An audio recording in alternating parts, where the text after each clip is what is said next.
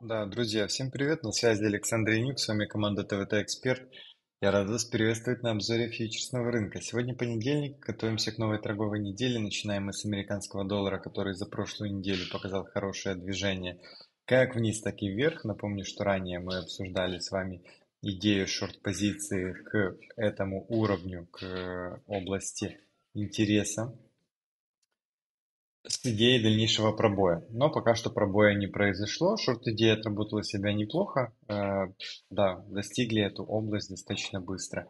И на текущий момент цена торгуется выше, отскочили. Здесь хочу отметить то, что опять же особо много объема не было. Возможно из-за того, что новый контракт. Но здесь, как мы видим, особо лимитной поддержки нету. Соответственно, я считаю, что в ближайшее время вполне вероятно дальнейший пробой этой области. Смущает только одно, то что по сот-отчетам мы видим э, рост объема э, лонговой позиции со стороны фонда, вот эта зеленая линия, она подрастает, соответственно, говорит нам о том, что фонды активно затариваются в лонг. ФРС на прошлой неделе сказали, ну, Паул сказал, что э, в этом году ожидайте одного снижения и четыре снижения в следующем году, соответственно, участники рынка готовятся к еще одному ралли, забегу по американскому доллару.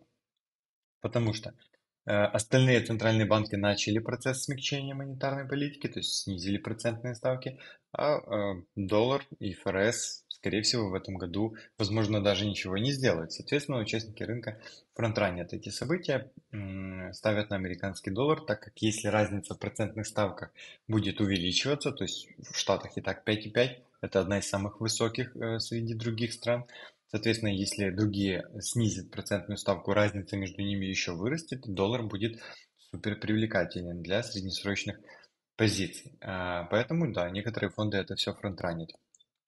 И вот, вот такая история. Поэтому а, два, два сценария.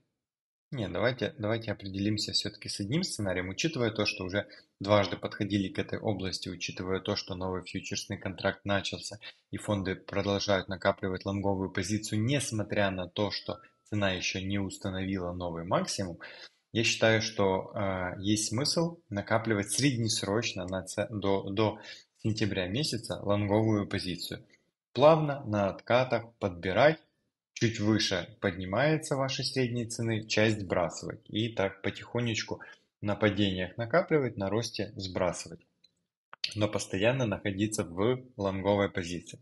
Это среднесрочный подход. Более, э, более э, краткосрочная история, я считаю, есть смысл еще шортить с целью достижения вот этой области, возможно, даже пробоя этой области, да, то есть фитильком зацепить эту область, чтобы собрать все-таки стоповую ликвидность. Но это э, достаточно маловероятный сценарий. Дальше у нас европейская валюта. По европейской валюте хочу отметить то, что фонды накапливали, на, накопили серьезную шортовую позицию. Вот это как раз мэчится с лонгом по американскому доллару. Прекрасная Э, прекрасный ретест вот этой области, области, где ранее достаточно много эм, оставались э, позиций, ну, где много торговались, область лимитного притяжения. И да, и как раз с этой области фонды и рассмотрели шортовую позицию, то есть они э, начали ее накапливать еще чуть раньше, то есть это у нас тык-тык-тык, вот до вот этого момента. Вот до вот этого момента все, что э, было вот здесь э, накапливалось в шорт и накопили 25 тысяч контрактов шортов. Уверен, что они продолжат это все набирать, так как э, достаточно серьезный слом произошел. То есть изменения в настроениях произошли существенные. Да, э, таким образом, э, лонговую идею по европейской валюте стоит отменять. Э, есть смысл как раз рассматривать шортовые сценарии с момента, когда мы увидим контратаку покупателей – ой, извините, контратаку продавцов, возможно еще одну коррекцию и дальше уже среднесрочный шорт на ближайших 2-3 месяца. Швейцарский франк, несмотря на то, что американский доллар растет, растет в том числе. Это отличная идея была, э, идея с пробоем локального максимума. Здесь как раз четко э, загрузили шортов фонды. Они продолжили грузить эти шорты даже э, в моменты, когда вот сюда уже подошла цена. И да, и сейчас эти шорт-позиции закрываются, поэтому вполне вероятно установление нового локального максимума за предыдущий фьючерсный контракт и дальнейший вынос цены повыше. А, но, но, э, да, э, здесь особо сильно разгоняться не стоит. Максимум это у нас как раз установление вот этого локального кая. И после этого установления есть смысл зафиксировать большую часть лонговой позиции, не ждать дальнейшего продолжения. Не ждать только по той причине, что шорт-позиция, она ограничена у фондов. То есть я здесь не делал скрин, но мы видим, что они уже частично начали ее закрывать. Здесь еще что-то осталось, но в целом за одну недельку они без проблем могут ее полностью покрыть. Поэтому, как по мне, э, после установления вот этого хая уже нет смысла особо держать дальше позицию. По австралийскому доллару и по новозеландскому доллару плюс-минус аналогичная ситуация. То есть в австралийце мы видим закрытие э, лонговой позиции и открытие шортовой позиции со стороны фондов. Они продолжили это накапливать и, как мы видим, она не смогла установить, закрепиться выше локального максимума моменты слабости американского доллара. Вот, а, то, что мы пока находимся вот в этом диапазоне, это хорошо. То есть до момента выхода вниз с этого диапазона переживать не стоит за лонговые позиции. Вот здесь буллиш фактор еще остается в силе, но он становится все слабее, учитывая то, что э, Банк Австралии также пошел по пути смягчения монетарной политики, а ФРС нет. Соответственно, это будет снова же давить. И мы видим, что эта позиция фондов, она резко ухудшилась. Соответственно, да, есть смысл выходить э, из лонговых позиций и э, в моменты отскока, в моменты контратак продавцов есть смысл э, внутри дня накапливать шортовую позицию с целью посидеть на с целью вот этого пробоя.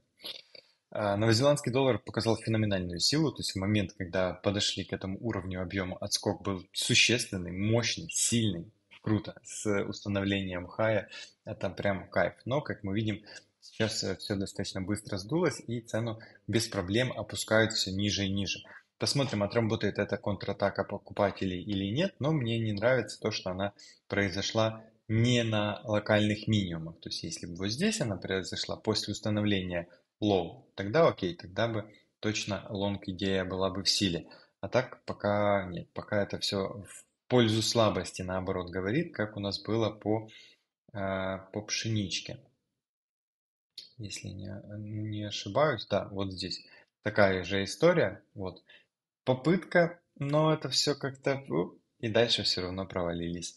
Вот. В новозеландском долларе плюс-минус аналогичную историю э, я рассматриваю. По канадскому доллару. Да, канадский доллар здесь прям супер серьезно. 38 тысяч контрактов шортов фонды открыли. 36 тысяч контрактов лонгов открыли э, хеджеры, в свою очередь. Да, но фонды это те ребята, которые работают по направлению тенденции, и здесь, как мы видим, а, после установления локального минимума фонды активизировались. У меня лонговая позиция еще осталась, не дошли буквально чуть-чуть. Посмотрим, удастся ли фондам продолжить нисходящую тенденцию или все-таки хеджеры возьмут инициативу в свои руки, потому что у э, двух сторон позиции серьезно разошлись. Если мы посчитаем, когда именно это все произошло, то вы увидите вот, э, смотрите, пятница, четверг, среда, вторник. Вот за вторник у нас вышли данные, и нам необходимо отсчитать 5 э, дней. Раз, два, три, четыре, пять. Вот. Оп. да, 5 дней торговых. И мы видим, что основной объем, э, стоп, чуть-чуть пониже, вот, основной объем был наторгован вот здесь. То есть это область. Вот эта область. Вот здесь был наторгован основной объем. Соответственно, пока цена находится выше этого уровня, выше этого объема, это говорит нам о том, что хеджеры контролируют ситуацию. То есть они взяли инициативу в свои руки и с большей вероятностью цену будут подталкивать дальше вверх. А, в момент пробоя этой области закрепления ниже, значит фонды берут э, ситуацию в свои руки. А, я считаю, что пока мы выше этой области, есть смысл рассматривать лонг-приоритет, поэтому пока в лонге и сижу. По британскому фунту. Посмотрите, какая огромная дельта, как она сильно выделяется, но не стоит там сильно переживать или надеяться, это в основном перекладка объема со старого фьючерсного контракта в новый. Да, а, по поводу э, фунта здесь мы видим, что э, фонды продолжили накапливать лонговую позицию, хеджеры шортовую, все окей. Цена дальше не двигается, причем э, лонговая позиция фондов, она все медленнее и медленнее накапливается. Отличным э, э, паттерном для закрытия лонговых позиций выступают моменты преодоления предыдущего локального максимума, потому что там чаще всего э, многие будут фиксировать свои позиции. Э, у кого-то take профиты стоят, у кого-то там стоп-лоссы и все остальное. И там достаточно много ликвидности всегда сосредотачивается. Если, э, если сезонность не подкреплена, если фундаментальный новостной фон не подкреплен, то и дальнейшего развития событий чаще всего не происходит. Так вот, здесь у нас как раз четенько произошло установление максимума. Напомню, что да, фьючерсный контракт уже новый начал полностью торговаться, окей. Э, я веду к тому, что это первое, что нам говорило о потенциальном, э, потенциальной остановке тенденции. Второе, да, то, что э, по американскому доллару и в целом по британскому фунту за последнее время, несмотря на увеличение лонговой позиции со стороны фондов, цена особо не росла. То есть просто в боковике, по сути, болталась. Вот, вот этот э, рамки боковика. Фонды увеличивают свою лонговую позицию, цена при этом не растет. Да, я, конечно, рассчитывал, э, я без позиции по британскому фунту, я рассчитывал на то, что э, фонды, как и в предыдущий раз, резко увеличат свою лонговую позицию по этому инструменту, и тогда уже шорт. Потому что что-то последнее время, последних год-полтора, они никак не угадывают. Каждый раз, когда они наращивают шортовую позицию по фунту, цена разворачивается вверх. Каждый раз, когда они наращивают свою лонговую позицию, как вот здесь, цена начинает снижаться.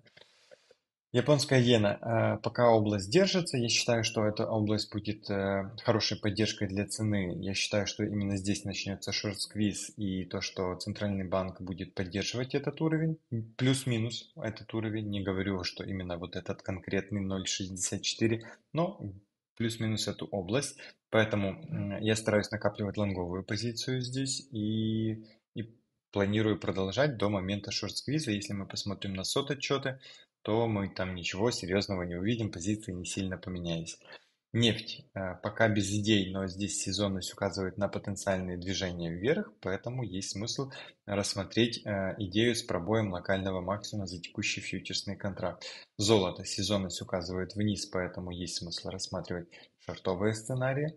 Э, и вот пока рынок как раз ожидает снижения процентных ставок в ближайшее время, это может и поддавить немного на котировки золота. По остальным инструментам, вот биток еще интересно, это то, что э, идею мы озвучивали э, торговли в боковике. Пока цена находится в этом боковике, вижу смысл использовать грид-стратегии, грид-подходы. Э, и по поводу фондового рынка, э, да, установили новый максимум, пробились по всем фронтам выше экстремумов, э, причем посмотрите, как серьезно порасходились позиции фондов и, и хеджеров по NASDAQ. И цена пока что торгуется выше, это говорит нам о том, что с большей вероятностью цену еще будут поддерживать там повыше. Но здесь и преодолеть 20 тысяч, это прям, конечно, сильно э, надо. Вот. Но после этого я считаю, что дальнейшее движение обратно вот в этот боковик серьезный большой, оно будет происходить. То есть, что э, SPY, что NASDAQ будут возвращаться вот в этот боковик вплоть до где-то середины августа, когда к выборам уже будет достаточно близко. А, по спредам NASDAQ против Рассела держу, планирую дальше накапливать позицию, работать на сближение, учитывая то, что NASDAQ устанавливает хай, Russell не устанавливает. Связано это с э, разницей влияния ставки и потенциальных ожиданий изменения ставки на два этих индекса, то есть мелкие компании, они, им уже необходимо рефинансирование своих долгов под более низкие ставки, а они пока что могут брать только под более высокие, соответственно, их маржинальность падает в этом случае, а у более э, крепких компаний у них более крепкая позиция, им не так необходимо финансирование. Золото против серебра вижу смысл накапливать э, позицию на сближение по этому инструменту. И если мы выбираем одну позицию на ближайшее время для работы на сближение, это у нас как раз новозеландец против европейской валюты. По новозеландцу шорт, по евро лонг. А, я считаю, что есть смысл это делать в моменты, когда у нас а, новозеландец делает движение, ну, короче, как всегда, да, новозеландец, э, часть позиции уже сейчас можно брать, Дальше э, следующую основную первую часть мы берем, когда новозеландец устанавливает локальный максимум, а евро устанавливает локальный минимум. Это будет лучший, лучший из вариантов. И здесь позицию желательно взять первую до момента, пока новозеландец не установит новый минимум вот здесь, потому что после этого пробоя скорость падения резко увеличится. Вот. По евро здесь, э, ну, да, Здесь пока поддержек особо э, нету, поэтому да, в ближайшее время э, движение вниз вполне вероятно достаточно быстрое. Всем спасибо за внимание. Хорошей вам торговой недели. До встречи в пятницу уже в полноценно рабочем режиме. Счастливо, будем на связи.